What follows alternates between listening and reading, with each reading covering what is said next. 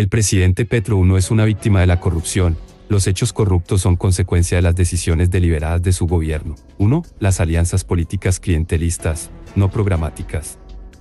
2. El uso del servicio diplomático y de algunos cargos públicos para entorpecer las investigaciones en contra de funcionarios o políticos cuestionados que se benefician del fuero.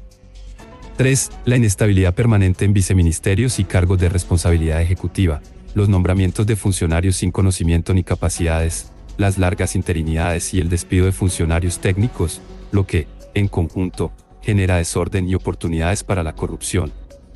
4. La ausencia de proyectos bien diseñados y políticas públicas claras, lo que también genera oportunidades para la corrupción. 5. La idea, obsesiva, de que la continuidad del progresismo en el poder es un imperativo, un objetivo superior al cual todo lo demás debe subordinarse. Alejandro Gaviria a través de su cuenta X,